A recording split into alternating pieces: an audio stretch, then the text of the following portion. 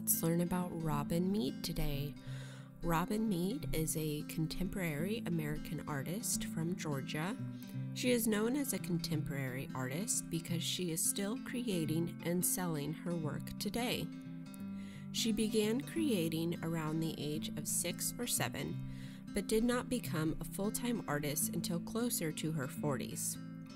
Robin uses a variety of mediums, including watercolor, to translate her love for color into her artwork.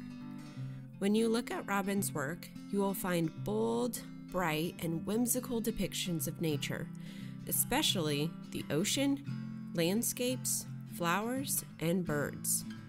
When creating a work of art, Robin aims to translate the joy that comes through creating. As we create in the style of Robin Mead, I hope that you will discover what a joy creating can be.